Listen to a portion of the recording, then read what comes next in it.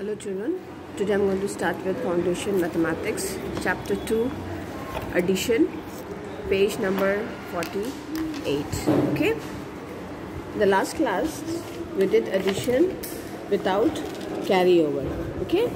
Now today I'm going to start with addition with carryover.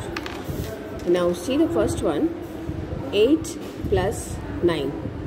When we add 8 with 9, we get 17 the 1 7 so 1 we are going to carry here and 7 we are going to write here this is 17 now we come to the tens ones 4 4 के साथ 1 add करेंगे that is 4 plus 1 5 5 plus 1 6 that is 67 answer कितना होगा 67 now see the next one 7 plus 8 we get 15 7 में हम 8 add करेंगे तो 15 आएगा तो 1 we are going to carry and 5 we are going to write here all right now 5 plus 1 5 plus 1 कितना होता है 6 6 plus 2 8 so the answer is 85 in the same way you see the next one 7 plus 7 7 plus 7 14 so 1 we are going to carry and 4 we are going to write here 4 plus 1 5 5 plus 1 5 plus 3 8 84 in the same way you are going to do this whole page all right